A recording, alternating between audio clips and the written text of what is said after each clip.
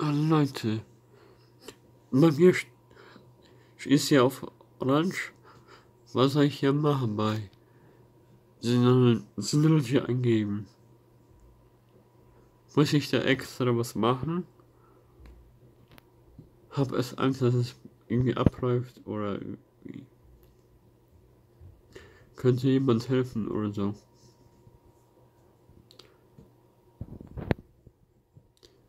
Bitte Daumen nach oben.